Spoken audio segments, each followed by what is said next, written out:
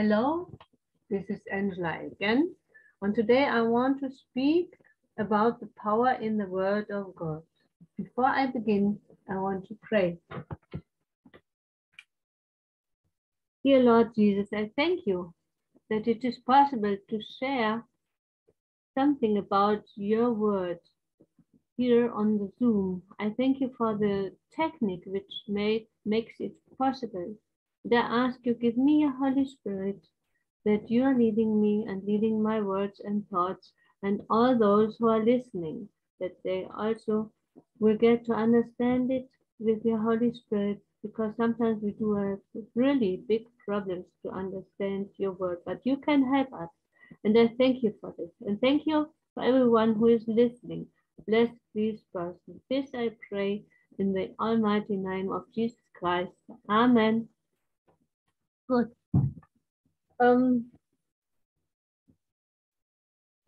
when I was about 17 years old, I was thinking the Bible is um, fairy tale. I went to school, so not high school, but something similar, and an upper school. It, is, it was an upper school, and I was taught in this way. My father, he was an atheist. He didn't believe in God. I had a stepmother. She was Catholic. She was believing in God. And when I was a little girl, she was always praying with me. And this helped me a lot in my life. But at that time, I was thinking, oh no, the Bible is not true. I don't believe in it. But one day, when I was about 17, 17 and a half, I was thinking, what if it is true? What then? And then I began to read the first verses in the Bible, and it is Genesis. It's about the creation of heaven and earth. And I know there are many discussions about this, but let's read what there is, what you can read there. And I was thinking, okay, I take everything what I read, that it is truth. In the beginning, God created the heaven and the earth. And the earth was without form and void, and darkness was upon the face of the deep. And the Spirit of God moved upon the face of the waters. And God said, Let there be light, and there was light. And I stopped. I was thinking, okay, I'm thinking everything, everything is true. And then I said, thought, wow, God made heaven and earth. And there was nothing properly nothing good on the earth. It was, as it says, without form and void. And the Spirit of God moved upon the face of the waters. The Spirit of God. And then God said, Let there be light. And there was light. I was thinking, if it is in this way that the Bible is true, then it has to be from the first to the last page and I was I was very astonished and very very impressed about it. But it took a long, long time until Jesus, I at last found Jesus. But I was really impressed. I was thinking, wow, this is a real new thought for me. Because there is power in the word of God. Let's see what the Bible says. Through what agency did God create the heavens? This is Psalms 33, 6 to 9. I will just find it. Sorry, I'm impressed to do it. 33. In here, I'm just looking up. 6 to 9. By the word of the Lord were the heavens made, and all the host of them by the breath of his mouth. He gathers the waters of the sea together as an heap. He lays up the depths in storehouses. Let all the earth fear the Lord. Let all the inhabitants of the world stand in awe of him. And verse 9 For he spoke and it was done. He commanded and it stood fast. You see, and Psalms 148, verse 5. Doesn't take long. Always good to have a paper form in hand. Let them praise in the name of the Lord, for he commanded and they were created. You see, he's commanding and it is happening. He says a word and it happens. He orders some things and his holy angels will do this and will also impress human beings to do his will. The, the Lord is holding the whole world in his hands. You know, the Negro uh, gospel or spiritual song, song but it's, he's held the whole world in his hands. And this is true. Everything what is happening here on earth, he knows it and he's controlling it. There is an I think it is called antagonistic power who wants to work against it. Therefore, we do have so much trouble at the moment. But he is holding everything. He's keeping you and me in his loving, kindly hands. He has created us and he is loving you and me. What does Christ uphold by oh, sorry, by what does Christ uphold all things? This is Hebrews 1 verse 3 upholding all things by the word of his power. You see, there's power in the word of God. Why were the people astonished at Christ's teaching? Teachings. When Jesus was here on earth, living as a human being, he was teaching a lot and he was preaching and he was healing the people, the sick ones. And uh, Lazarus and the, the young man of Nain, both were resurrected from death. He is almighty. But it is Luke verse 4, verse 32. And they were astonished at his doctrine, for his word was with power. His word was with power. If you want to experience his words kindly, try to begin to read the Bible in one of the four uh, chapters in the New Testament, then you see Jesus' life. And there's a really good book which I would emphasize, which is called The Desire of Ages. It is warming the heart when you're reading it under prayer, out of the Bible. What testified to the power of the word of Christ? This is Luke 4, verse 36. And they were all amazed and spake among themselves, saying, What a word is this! For with authority and power he commandeth the unclean spirits, and they come out. He's also having power about um, over the unclean spirits, the demons. Some people are really demon possessed, and they, they say it. And uh, the Lord is having power over it. If you have problems with it, kindly pray to the Lord. How did God heal his people anciently? It is Psalm 107, verse 20. He sent his word and healed them and delivered them from their destructions. He is doing it. He has also helped me and many other people. And um, you may think, yeah, but not me. Yes, he can do it. Sometimes there are some uh, conditions, but uh, the Lord is good. I'm trying to find another verse. I think it is in Jeremiah 17. That's your 14. Yes, you can ask him. Um, Hear me, O Lord, and I shall be healed. Save me, and I shall be saved, for thou art my praise. This is the Lord. It is not us everybody can praise the Lord for the things he's doing for us. This was Jeremiah 17, verse 14. How did the centurion show his faith in the power of Christ's word to heal? The centurion answered and said, Lord, I am not worthy that thou shouldest come under my roof, but speak the word only, and my servant shall be healed. Matthew 8 8. And Jesus was very amazed and astonished about the faith of this centurion, that he said, Speak only one word, and my servant shall be healed. And in this way it happened. The servant was healed at the same time when Jesus spoke. the seed of God's word working in us. What did Christ say is the seed of the kingdom of God? This is Luke 8 11. The seed is the word of God. It is like a plant when you're putting some plants into the earth. There are some conditions which have to be there that it can be growing. If, it, if you're doing it in winter, when it is cold outside, there won't grow anything. But the seed is the word of God. When you have a heart prepared to receive the word of God, it will go and grow and come up. And it will have fruits, fruits unto eternal life. Where should the word of God of Christ dwell? This is First Thessalonians 2 verse 13.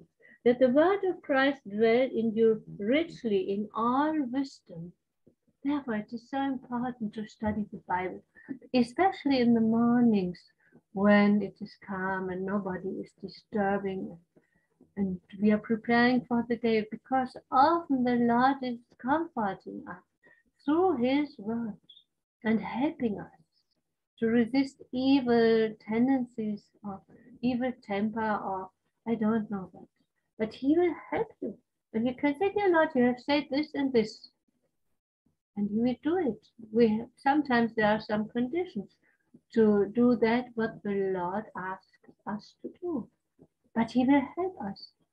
And also somebody, if he is um, doubting and says, I don't know if Jesus and, and God uh, does exist. Then you can pray, dear Lord, show me that you are there. Help me in this respect or in that condition in which you are. I don't know, but He knows. He knows your heart.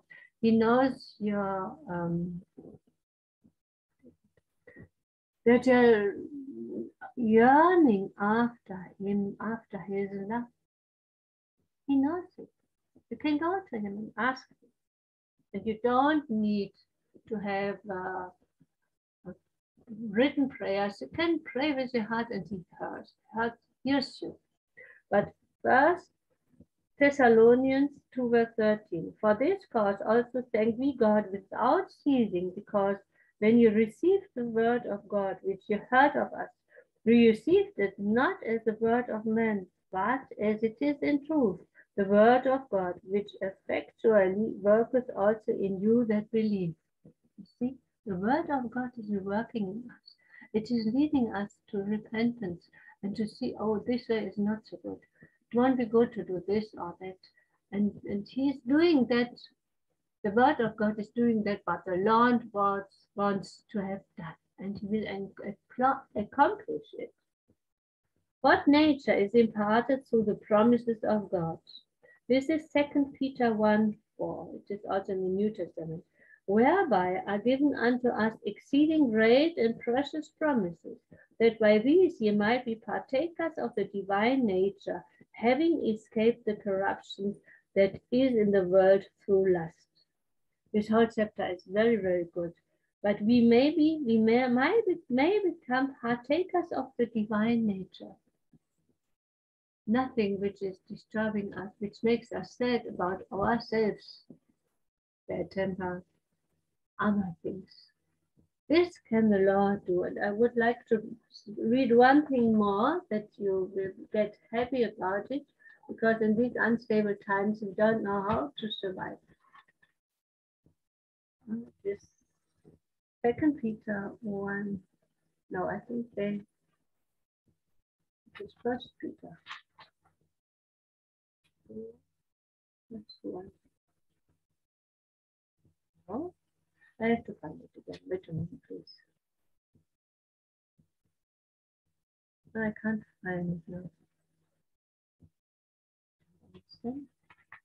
Ah, it is second Peter, chapter one. Yeah, sorry. According as it is, it is from verse three. According as his divine power has given us an all things that pertain unto life and godliness, through the knowledge of him that has called us to glory and virtue. He's giving us all that pertains unto life. This I'm just experiencing. The Lord is so good. There's a lady in the neighborhood, and I talked with her, and she said, You know what? I have so many food. Do you want to have some? And now she has given me some. It is so much that is good enough also for other families, that they also get their share. Because these unstable times are terrible, and many people are thinking about, oh, how do I survive? Kindly study, study this chapter, Second Peter 1 it will help you.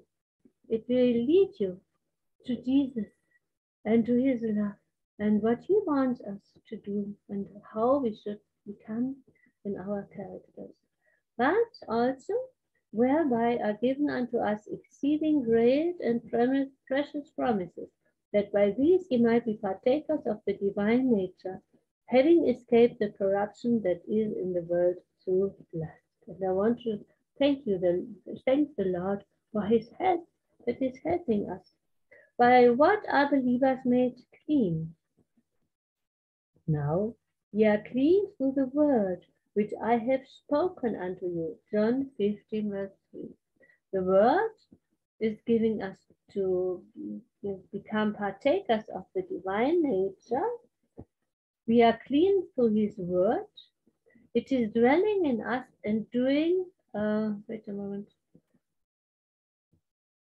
effectually workers in us who are believing. You see what the word of God is doing in us. How may a young man cleanse his way? What? Can also be an old one. What if we have a wrong way, a wrong start in life?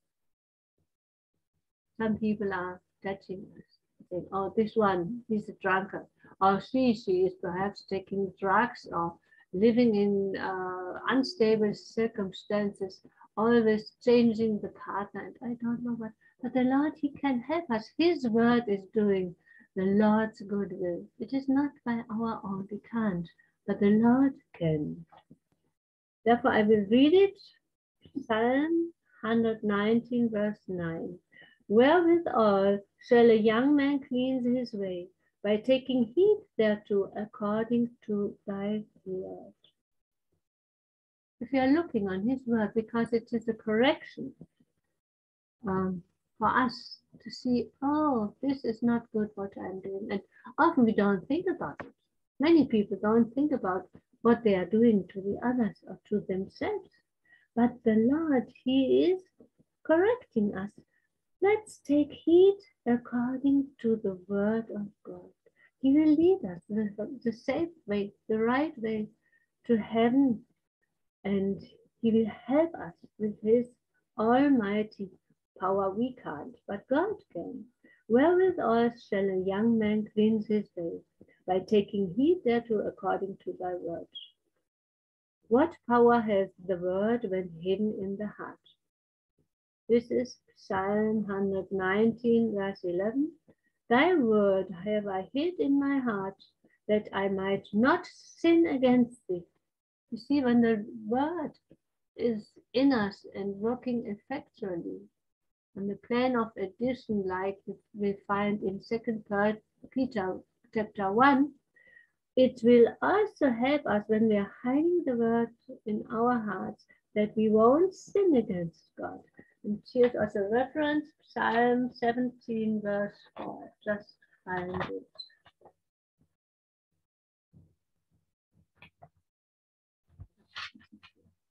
Seventeen, verse four. Concerning the works of men, by the word of thy lips, lips I have kept me from the paths of the destroyer. What's that? The destroyer. This can be an evil person. It can be um, mighty foes which are in this world. But when we are hiding, hiding the Lord's word in our hearts, we will helping us. He will help us not to sin against God. And we won't go on the path of the destroyer. Um, there's also one more. Let me see. Wait a moment, I'm thinking on it. I think it is Proverbs 1.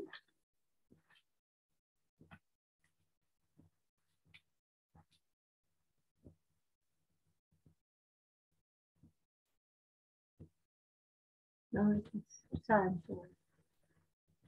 This is coming to my mind and therefore I'm looking for it. Can you bear with me? Yes, it is Psalms 1. Blessed is the man that walketh not in the counsel of the ungodly, nor standeth in the way of sinners, nor sitteth in the seat of the scornful. But his delight is in the law of the Lord, and in his law doth he meditate day and night. And why? And he shall be like a tree planted by the rivers of water that bringeth forth his fruit in his season. His leaf also shall not wither, and whatsoever he doth shall prosper. The ungodly are not so, but are like the chaff which the wind driveth away. Therefore, the ungodly shall not stand in the judgment, nor sinners in the congregation of the righteous.